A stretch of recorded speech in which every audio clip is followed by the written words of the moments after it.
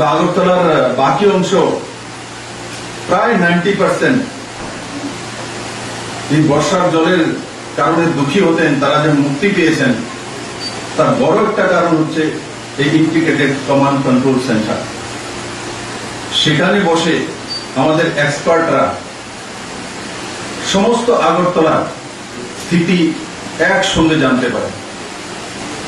আর within minute ওখান থেকে দেখে তৎক্ষণাৎ ডিপার্টমেন্টকে নির্দেশ করা হয় যে ওই জায়গাতে জল জমছে, ওই জায়গাতে বৃষ্টি হয়েছে, ওই জায়গাতে পাম্প লাগাতে হবে, ওই জায়গাতে পাম্পে এতটা জল ফেলছে।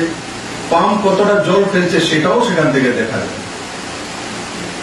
তো এই সব ব্যবস্থা করা রোডে জিও কম্পোস্ট টেকনোলজি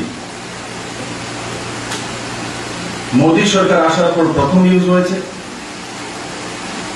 এবং সেই টেকনোলজি প্র্যাকটিক্যালি কীভাবে করতে হয়, তার অনুভবও নিয়ে এসছে।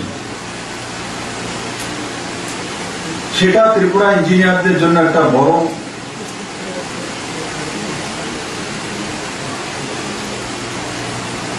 অগ্রণী ভূমিকার দিক।